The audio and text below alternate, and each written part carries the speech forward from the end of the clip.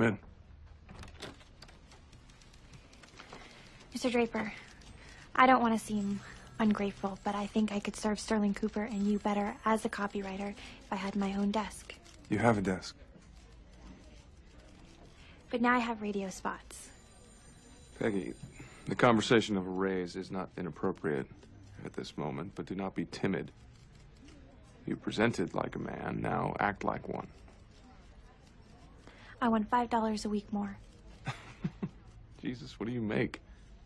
$35 a week. Well, that's a 15% kick. Done. a word.